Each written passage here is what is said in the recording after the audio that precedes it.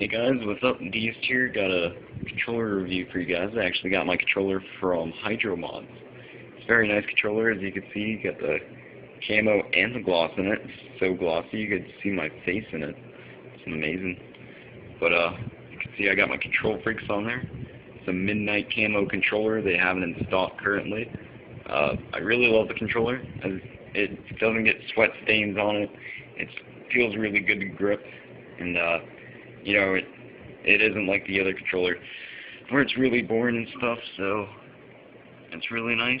Uh, I'd like to thank you, HydroModz. I put the video where I got it out of the box, but my camera for my thing, my phone, is dumb. So uh, again, thank you.